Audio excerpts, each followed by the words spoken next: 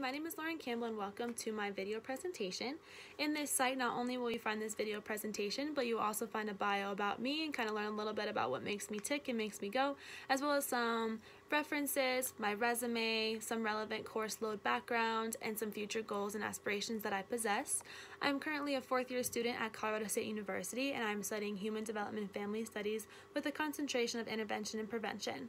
In my future career, I would like to become a behavioral therapist and work with kids who have special needs, and I think I want to specialize in autism.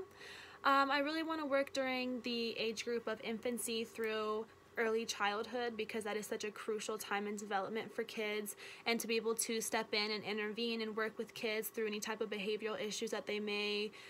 you know see in their future that may be arising currently in their young childhood I just really want to be able to intervene and just be able to give them the support and tools that they will need in order to successfully function in society in their future. Um, you know, I also just want to make sure that I'm always creating a very inclusive, empowering, safe, genuine space for anybody who I work with because I think it's also so important to treat people for the person that they are, not the disability that they possess. So yeah, that's a little bit about me and I hope that you enjoy my site. Thank you.